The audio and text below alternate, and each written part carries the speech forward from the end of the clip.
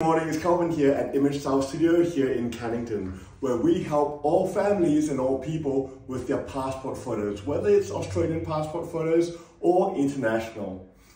Now, currently, there's actually a problem on the Australian citizenship website, and it's a known problem. When you actually log into the Australian citizenship portal, it will tell you that there's an issue. When you're submitting a photo, especially of your child, uh, it will come up with an error saying that there's something wrong with the contrast of the saturation or something wrong with the photo. And that's actually a known error. They then say um, that you have to submit the same photo three times and it will give errors three times. And on the fourth try, it will be perfectly fine. So just check this out. I've just given it a go myself, uh, creating a test account, and you see that it's exactly uh, as they've said.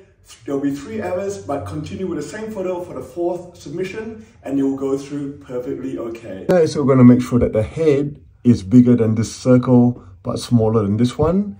So we're going to press the zoom button.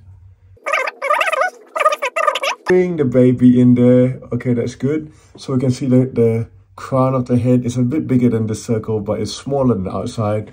So we're going to uh, add this now and then we're going to confirm. We're going to confirm.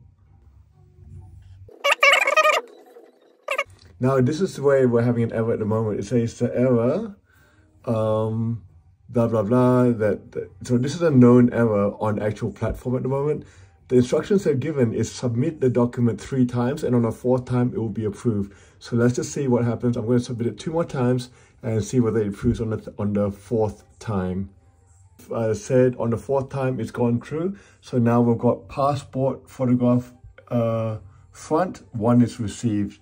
So that has gone through perfectly fine. Uh, we just It's just a matter of uh, doing it three times and on the fourth time it will be fine.